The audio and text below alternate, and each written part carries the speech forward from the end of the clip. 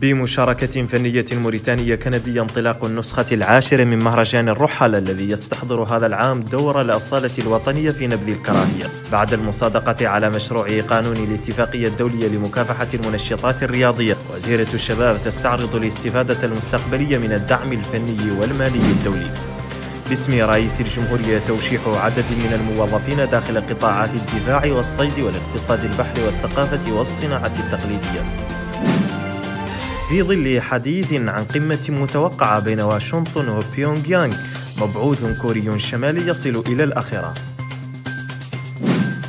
في تطور جديد يتعلق بالحدث الكروي الأهم مصر تطلب رسميا تقديم موعد انطلاق بطولة أمم أفريقيا 2019 في أكبر تسريب في تاريخ الإنترنت نشر أكثر من 770 مليون بريد إلكتروني تم اختراقها بعد الهجوم الذي ضرب ياهو قبل ستة أعوام.